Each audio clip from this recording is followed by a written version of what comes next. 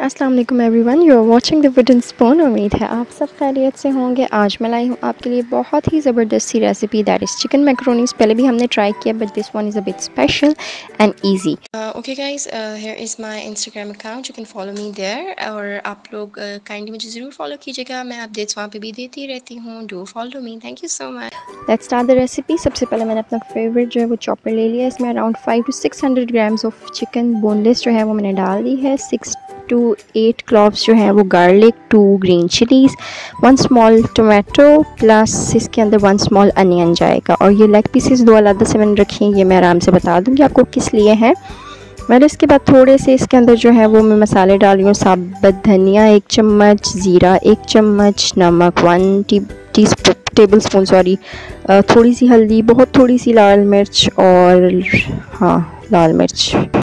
और इसको कर लेना है हमने अच्छा सारा चॉप और चॉपिंग के बाद ये कुछ सिचुएशन हमारे पास बनती है। वेल इन केस अगर आपके पास चॉपर नहीं है तो आप जो है वो चिकन को मैरिनेट कर सकते हैं। तमाम मसालों के साथ इनको हल्का सा पीस के और आप उसको मैरिनेट करके तो आप उसको तब भी फ्राई कर सकते हैं।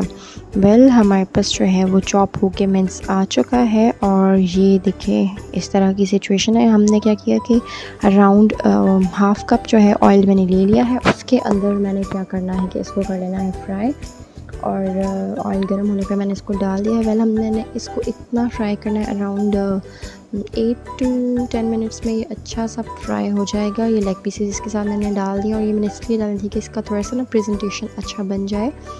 अच्छा ये इसके साथ अच्छा सा मिक्स हो जाए और फिर ये इसकी जो है वो फ्राइंग कंप्लीट हो जाएगी। मसाला आपने देखना थोड़ा सा ना लेग पीसेस में अच्छा सारा चला जाए तो ये अच्छा मज़े का बनेगा।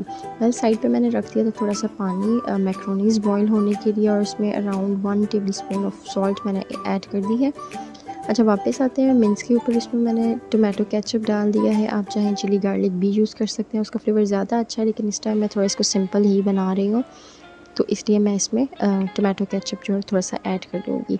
अच्छा सारा मैंने इसको भून लिया है और जैसे ही आपको लगे केचप इसमें अच्छा सारा मिक्स हो गया और थोड़ा सा दो तीन मिनट फ्राई हो गया, उसके बाद मेरे पास कैप्सिकम्स कटे हुए रखे हुए हैं ये मैंने इसमें ऐड कर दिया है। इज़ स्टेज के आप जो है स्टोव को बंद कर लें और इसका जो है ना ढक्कन आप ऊपर दे दें। टू थ्री मिनट्स के लिए आप इसको ढक के रखें और फिर आप इसको खोलें।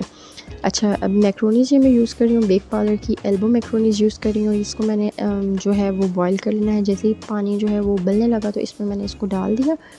एट मिनट्स के अंदर ये बिल्कुल परफेक्ट किस्म के जो है ना, ये गल भी जाती हैं और ये बिल्कुल बहुत ज़्यादा भी नहीं गली भी होती हैं। बहुत अच्छी मज़े की जैसा इनको होना चाहिए, वैसे ही रहती हैं।